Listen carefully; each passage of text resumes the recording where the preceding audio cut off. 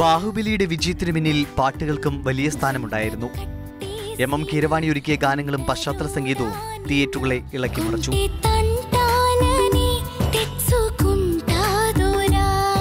അതിനാൽ തന്നെ രണ്ടാം ഭാഗത്തിലെ ഗാനങ്ങൾക്കായും ആരാധകർ കാത്തിരിക്കുകയായിരുന്നു. തെലുങ്ക് പതിപ്പിലെ ഗാനങ്ങളാണ് ആദ്യം അവതരിപ്പിക്കപ്പെട്ടത്. കൊണ്ടല്ലോ വാലിന സൂര്യടാ പകിലിന കോട്ടലനേ.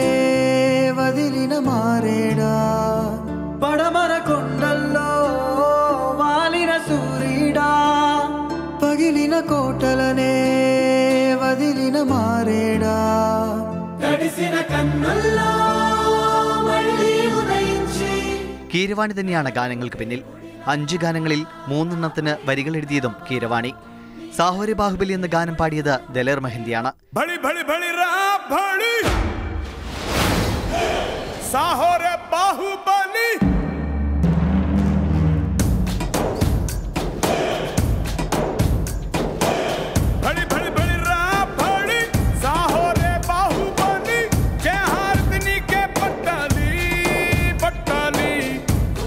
ഒപ്പം ഏറ്റവും ശ്രദ്ധ നേടുന്ന ദണ്ഡാലയ പ്രണാമം എന്നീ ഗാനങ്ങൾ കാലഭൈരവനും പാടിയിരിക്കുന്നു.